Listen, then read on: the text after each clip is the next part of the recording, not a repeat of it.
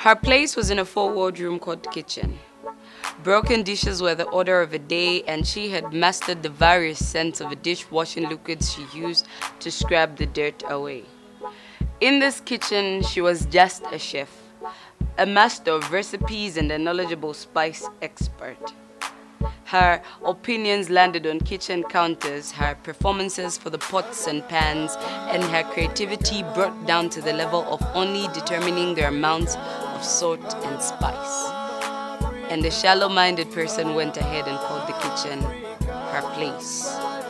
They could not see beyond the chores that this place birthed happy, magical meals that could not only satiate hunger but could feed even a generation.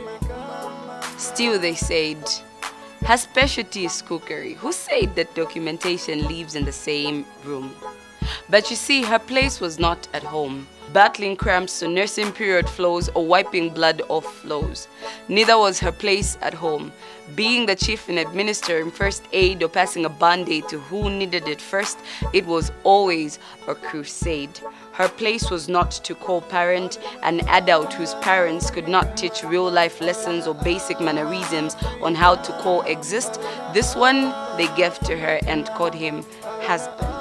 Her place was not to seduce, to arouse or satisfy the sexual appetite of another human, to stay enslaved and answer morning glory calls and be blamed for the outcomes or actions and reactions of a penis. Her place was not in the fellowship of women who taught her traditional scriptures, home management systems or behaviorisms which did not exist in universities because they were just common myths and beliefs. Her place was not of a bed warmer, a stress reliever, or a horny man's entertainer because everything she carried on her body were interconnected parts and there inside of her they lived a heart. So yes, sometimes she fought the wrong battles.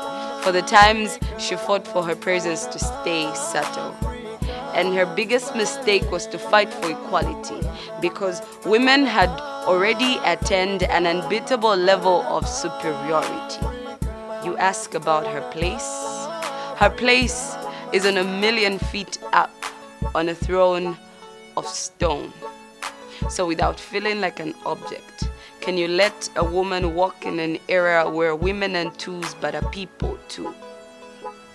She is unstoppable. She stands unbeatable. And as unadmittable as it is, she is queen. And her place, her place is on top.